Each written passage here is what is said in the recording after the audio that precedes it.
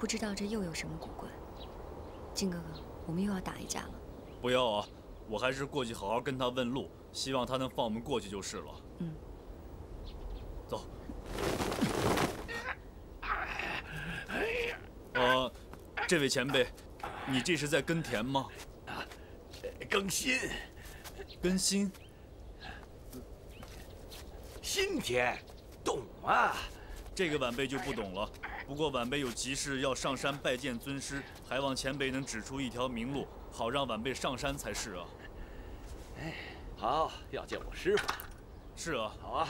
哎呀，小伙子，呃，把那个竹筒拿过来，我先喝口水，然后再慢慢跟你说。好啊。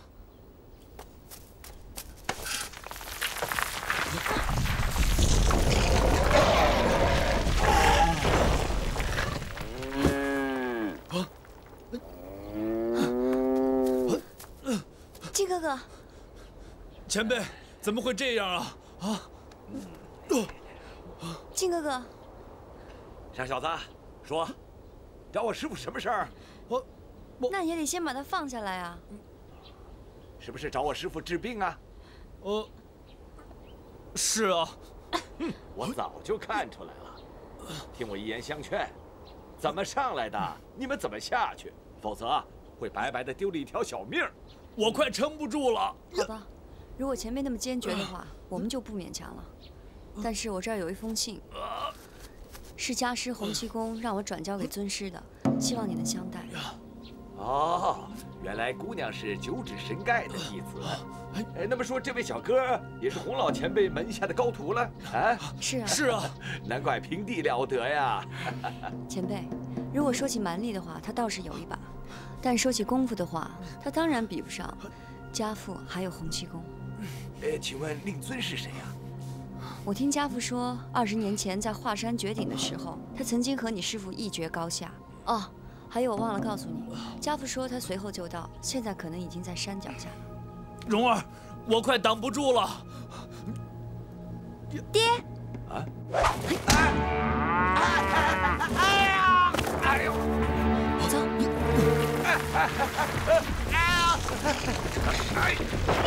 前辈，靖哥哥，蓉儿，你没事吧？我们还是快走吧。好吧，咱们走。曰：学而时习之，不亦乐乎？有朋自远方来，不亦乐乎？人不知而不温，不亦君子乎？子曰。君子食无求饱，君无求安。敏于事，蓉儿，什么人会跑到这儿来读书呢？当然是于桥跟读的读，他也是段王爷的弟子，可谓好学也已。有子曰：“礼之用，和为贵。先王之道。”哦晚辈求见尊师，襄樊大叔引荐。小大由之，有所不行，知何而和？晚辈求见尊师，襄樊大叔引荐。不可行也。暮春者，春服既成。怎么办啊？观者五六人，童子六七人。欲乎沂，风乎无雨，咏而归。子曰：论语纵然读了千遍。却不明夫子的微言大义，也是枉然。啊？什么微言大义啊？倒要请教。请问孔门弟子共有几人？哈哈，这有何难呢？孔门弟子三千，达者七十二人。七十二人中有老有少，请问观者几人？少年几人？《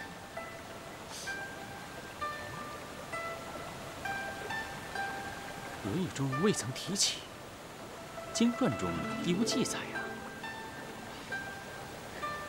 刚才我明明听你读到，官者五六人，童子六七人，五六得三十，成年的是三十人，六七四十二，少年是四十二人，两者相加，不多不少是七十二人。哈哈哈哈哈！小姑娘果然是满腹诗书，佩服佩服。我说你不明夫子的微言大义，一点都没有错。嗯，像你这样学而不思，真是可惜。既然二位是来见我师傅的，好，我出道题来考考你们。如果答得出，我就引你们去见我师傅；如果答不出，那就只好请二位从原路回去了。大叔，金哥哥，好啊，风摆棕榈，牵手佛摇折叠扇。双雕荷叶，独角鬼带逍遥津。哈哈哈哈哈！妙极妙极，不但对仗工整，而且敏捷之至啊！哈哈哈哈哈！还有一联，对过此联方能上山。哈，哈哟，哈呀，呀，琴瑟琵琶八大王一般头面。这一联本来极难，我也对不出。不过，咱们有言在先，小姑娘既然对不出，那就只好请二位从原路回去了。蓉儿，靖哥哥，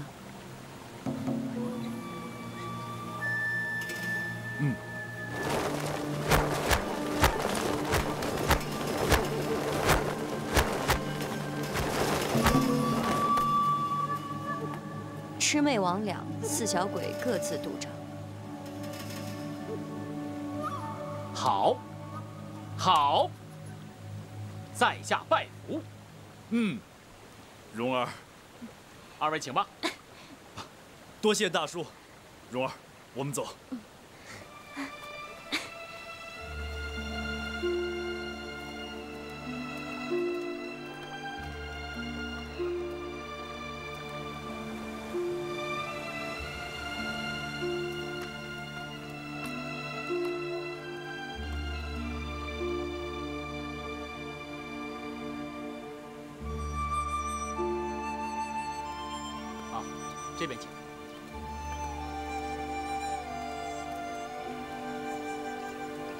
稍后，带我去禀告家师。且慢，嗯，那位耕田的大叔在山坡上手托大石，脱不得身呢。我看，我看你还是先去救他吧。你，哎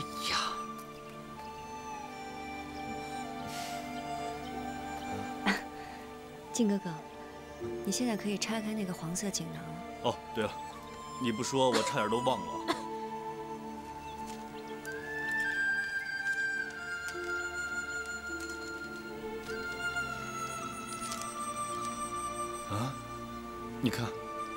的字写的不错啊，怎么这幅画像小孩画的？你说这幅画到底是什么意思呢？你都不知道，我当然更看不出来了。二位施主来此有何贵干？哦，我们是来求见段皇爷的，相烦通报一下。段皇爷早已不在尘世了，为两位空走一趟，且等用了素斋，待小僧恭送下山。师傅且慢，弟子郭靖黄蓉求见，烦请您告诉尊师，念在九指神丐与桃花岛故人之情，赐见一面。是啊，这张纸还请您交给尊师。好，请二位在此稍候。好啊，好啊。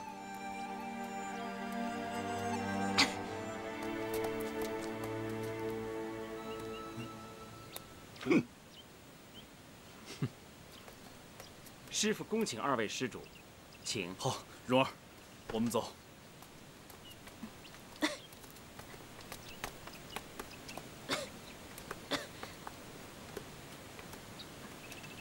蓉儿，你还好吧？你看，请。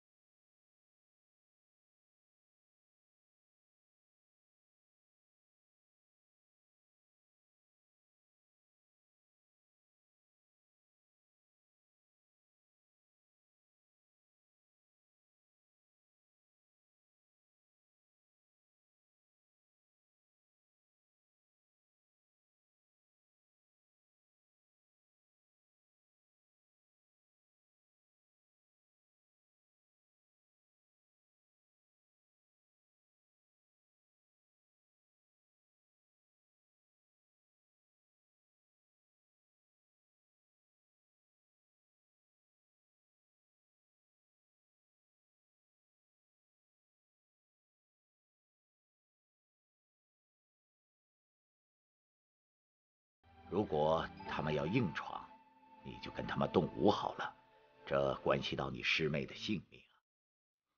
多谢大师。蓉儿，那我去了。嗯。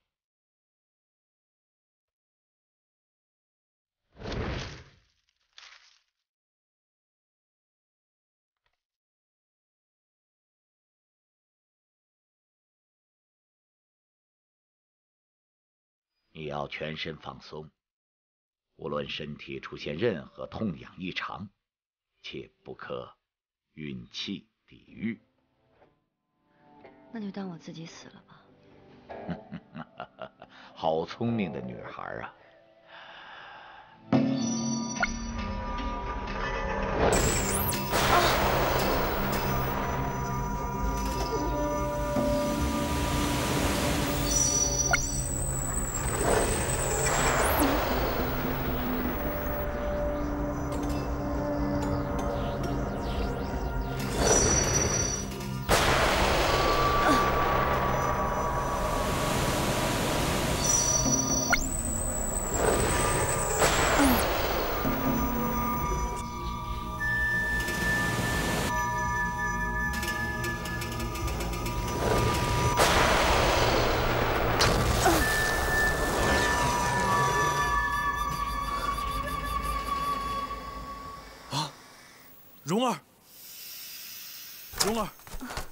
师傅，你好些了吗？师傅，师傅，你好些了吗？没事儿，孩子，你已经好了。真的。休息几日，不要乱走乱动，就没事了。多谢大师，多谢大师。金哥哥，把九花玉露丸给大师。哦，九花玉露丸。大师，好，师傅，想当初。在华山论剑的时候，你爹爹就把这九花玉露丸给大家分食，果然是神效无比呀！快请大师服用吧。是吧？是吧？好，你就是把世上所有的灵丹妙药都搬来，也还不够啊！没。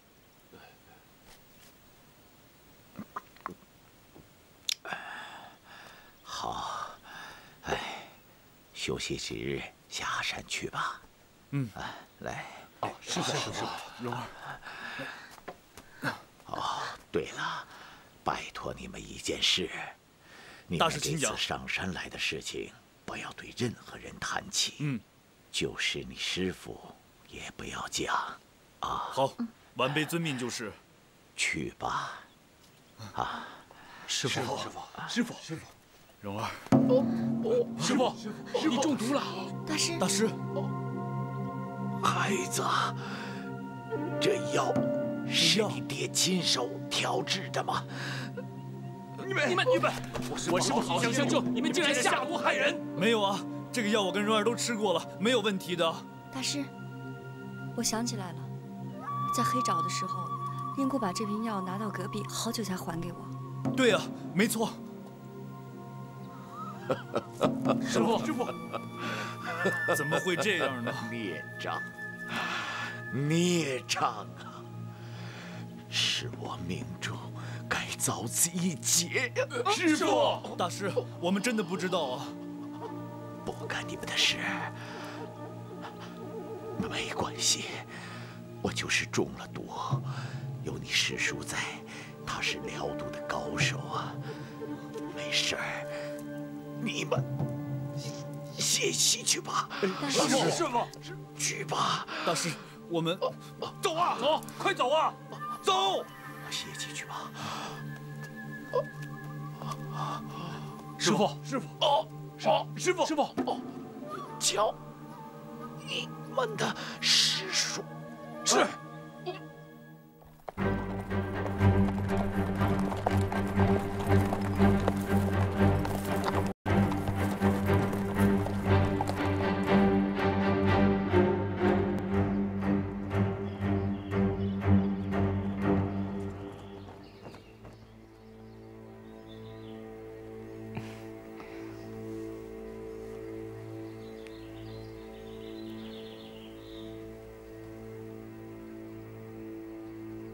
小王爷，六王爷来了，让你速去大厅相见。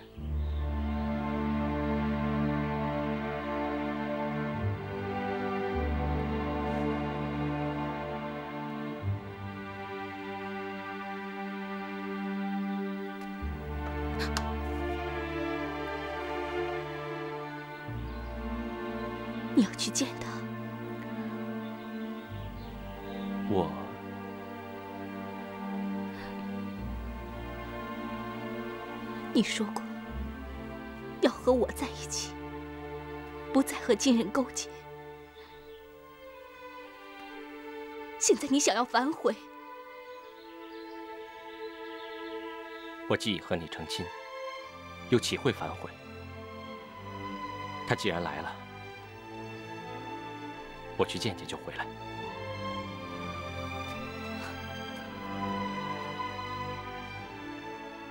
六王爷驾临毕邦，真是蓬荜生辉啊！老夫这几日与小王爷相聚甚欢，小王爷呢深谋远虑，也是一个少年英雄，果然是虎父无犬子啊！请，邱帮主威震两乡，是成名已久的老英雄，谬赞了，谬赞了！哎，惭愧，老夫无能。君山大会又被郭靖和黄蓉两个小贼坏了大事。我那个胞兄也是被这两个小贼害死的。我这次上山来，就是想和老英雄商议一下。还有一步棋，可以将这些贼首一鼓而启尽。禀六王爷，小王爷到。小王爷，你父王已经等你很久了。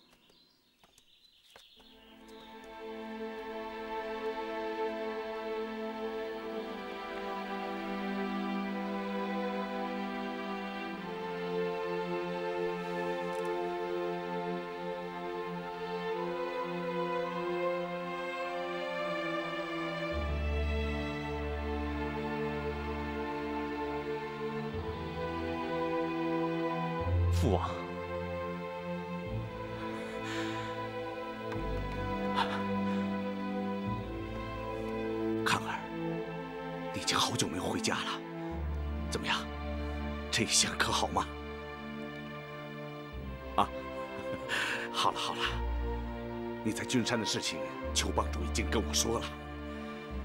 你料敌如神，有心机有胆识，哼，将来怎愁不成大事啊？唉，这帮贼首命不该绝，人算不如天算，这不能怪你。康儿，你千万不要心灰意冷，妄自菲薄呀！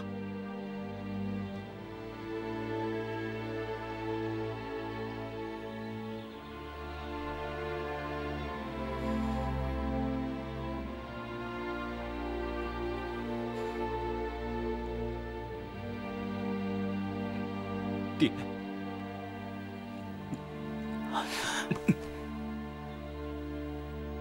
康儿，我这次来啊，是有大事相商。咱们大金国大军不日南下，现在又得了铁掌帮这样的大援，里应外合，两湖是唾手可得。以大金国的兵威，灭南朝并非难事。现在，别看那蒙古人气焰嚣张，这些只会弯弓射雕的蛮子，成不了什么大气候。现在，我是大权在握，等我灭了南朝以后，必登大宝，到时候你就是皇太子。以你的心机和胆识，咱们共创一番大的事业，前途不可限量啊！爹，我不能。不能？为什么不能？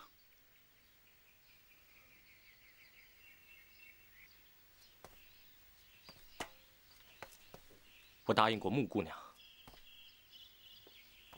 哈，你和穆姑娘的事情，我也知道一些。我也知道，你是一个情深义重的人。现在我也不想说什么“男儿志在四方”的话，但是现在我只想告诉你一句话：康儿，有时候掌管一个国家，比控制一个女人更容易一些，因为国家是看得见的一片土地。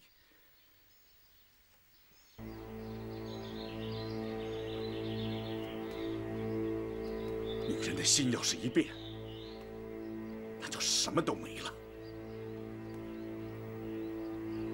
对你娘也是一样的情深意重，可十八年的心血转眼成空。算了，不提他了。康儿，大丈夫立誓，岂可蹉跎一生？而今天下局势尽在你我父子手中。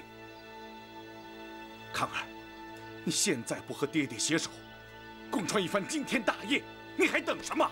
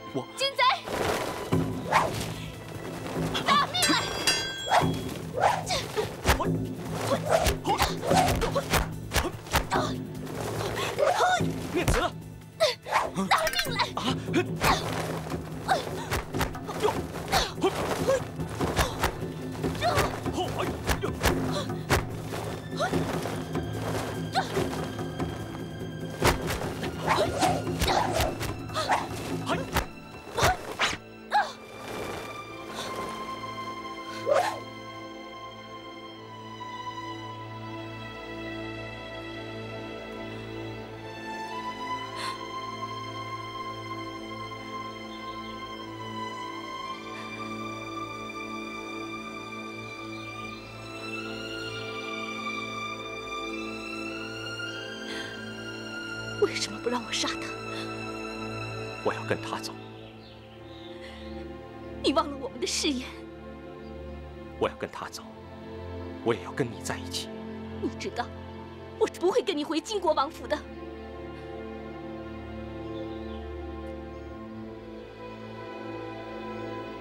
可我必须跟他回王府，我要干一番大事业。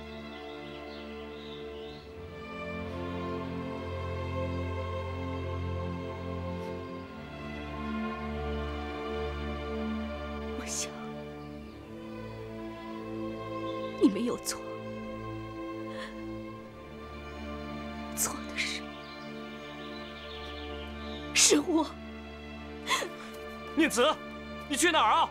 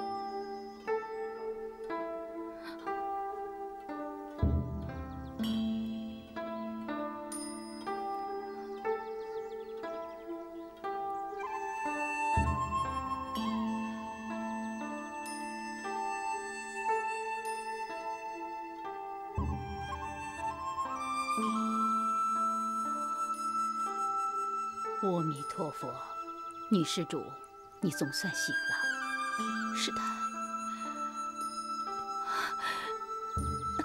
师太，师太，你一定要收下我，我要皈依佛门，你一定要收下我。女施主，你要三思而后行。我已经想得很清楚了，我除了出家，二条路可走了。大千世界，道路纵横，怎么会没有第二条路可走呢？女施主，你还是回去吧。可是师太，我真的很想出家。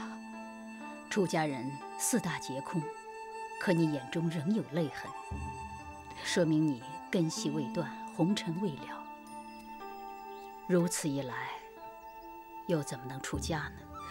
师太，我穆念慈决心已定，求你成全我。师太，女施主，如果你多有不便，在安内校住几日也无妨，先静养几天，仔细考虑考虑。到那个时候，如果真想出家，我会成全你。师太，你一定要帮我脱离苦海啊！回心转意未必不是一条出路啊！让我进去，让我进去！我要远远的离开那个人，为什么他偏偏又跑到这儿来？菩萨，你为什么老是捉弄我呢？今生的孽债乃前世所欠，你又怎么能怪菩萨呢？罪过呀，罪过！师太，我真的不能再见他了。你让他离开这儿，我不能再见他了。躲避不是办法，你还是去见见他吧。人生的苦恼总有了结的时候。出家，就是我最好的了结办法。让我进去，让我进去啊！请回吧，这里没有你要找的人。念慈，师太，你出来呀！念慈，你千万不能告诉他我在这儿。真是孽债呀！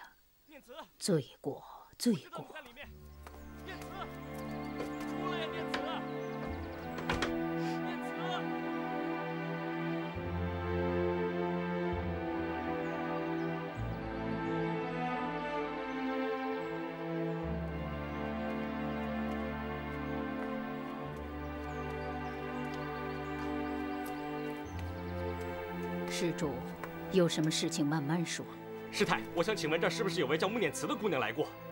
万事皆有根源，施主何必如此动怒呢？师太，念慈是我的妻子，我知道我让她心痛了，求师太让我见她一面吧。施主快快请起。师太，你是出家人，若无成人之美之心，总该还有慈悲为怀之度吧？难道你就忍心看着我们俩相分离，一辈子痛苦吗？既然如此，我不得不告诉你，那位女施主说过，她不想见你。啊，师太，这里是安堂清净之地，你在这里多有不便，还是请回吧。那我就在这安外住下，你一天不让我见她，我就一天不走。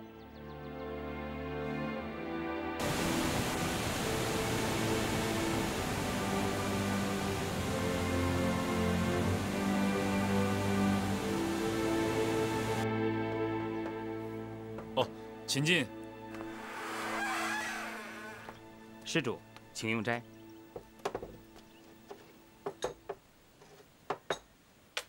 啊，请留步。不知大师的病情怎么样了？弟子不太清楚。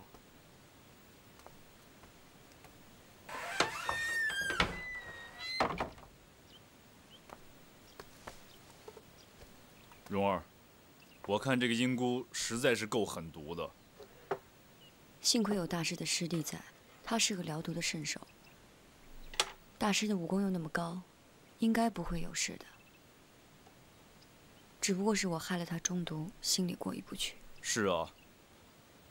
不过依我看呢，咱们的师傅，还有你爹爹欧阳锋、裘千仞，还有我周大哥，这五个人就算是武功再高，也未必抵得过一灯大师的。靖哥哥，你说他们六个人当中，谁的武功会是天下第一？我看各有各的造诣，实在难分高下。这一门功夫是这一位强些，那一门功夫呢又是那一位强些。那你要说文武全才、博学多能呢？嗯，那当然是要首推你爹爹了。这就奇怪了。什么？你想，一灯大师的武功那么高，于桥跟读四位又非泛泛之辈，他们为什么要那么战战兢兢地躲在深山里面？为什么会听到有人来访就如大祸临头般的害怕？其实，在他们六个人当中，只有欧阳锋和裘千仞是他的对头。但是，我想他们俩也不会不顾自己的身份，联手来对付一灯大师。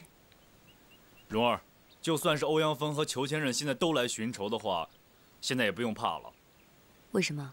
嗯，我看一灯大师给你治病的手法，我对九阴真经中本来不明白的地方，现在又多了点领悟。我觉得我对那小丫头诡计多端，我先宰了她。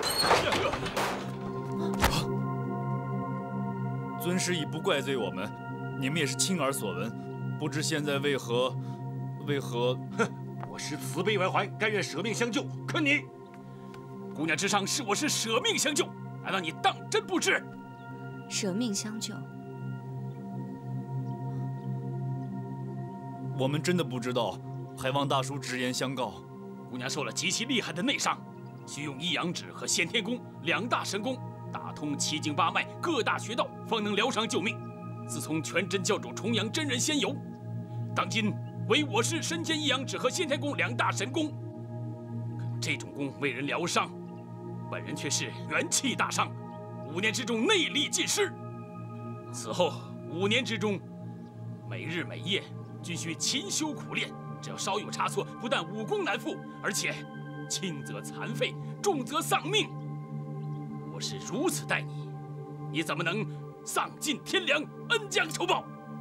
这这位大叔，我们当初来找大师治病的时候，并不知道他的这个举手之劳会耗费他五年的功力。是啊，九花玉露丸当中混入毒药，我和靖哥哥并不知道。再说大师对我恩重如山。我就是再没有心肝，也不会恩将仇报的。哼！为什么趁我师父功力极损，又中剧毒之计，引他人上山？没有啊，没有啊，还说没有？我师父一中毒，那山下就接到对头的玉环，难道天下竟有这等巧事？你们师父对头是谁？那玉环又是什么意思？师兄，师父命四位师兄送客下山。嗯，是。大师既有对头上山。我们又岂能一走了之？并非晚辈不自量力，我是想先和四位师兄一起去打发了那个对头再说。我先谢过两位了。不过我师父说过，个人因果个人自了，旁人不得插手。这，靖哥哥，我们自己去找大师说话。好。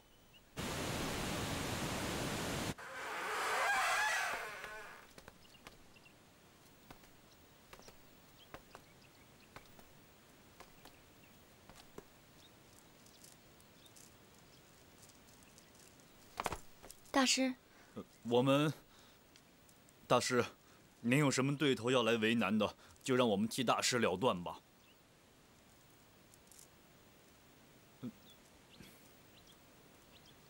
大师，大师，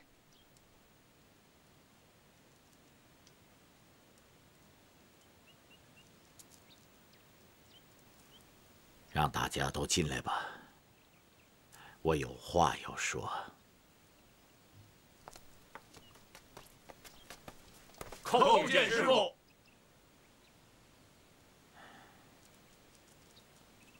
你们二位的好意，老僧心领了。但这中间的因果，老僧如果不说，会使很多人受到损伤。这并非是老僧的本意。你们知道老僧是什么人吗？您原来是云南大理国的皇帝，天南一地，威名赫赫，谁人不晓？是啊。皇帝是假的，老僧是假的，威名赫赫更是假的。就连你这个小姑娘也是假的。哎。这件事情的因由说起来，还是与华山论剑和争夺真经有关呢。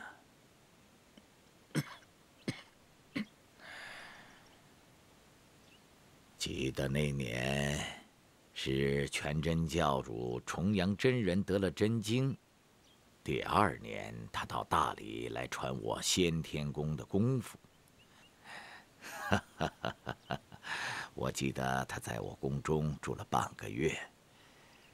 这半个月中，我们整日切磋武艺，言谈甚是投合。只是他师弟周伯通这十几天中，心里闷得发慌，整日在宫中东游西逛。唉，终于惹出了一场事端呐！啊，周大哥。其实这真正的祸根全在我自己呀！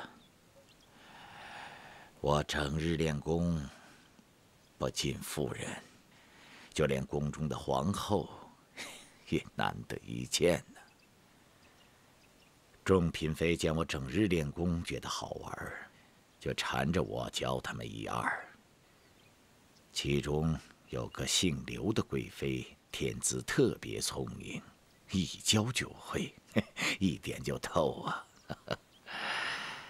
一天，刘贵妃正在宫中练武，却被周伯通、周师兄撞见了。那周师兄是第一好武之人，生性天真烂漫，不懂男女之防。见刘贵妃练得起劲儿，就上前过招，三下五除二就把她放在了地上。随即便问：“服还是不服？”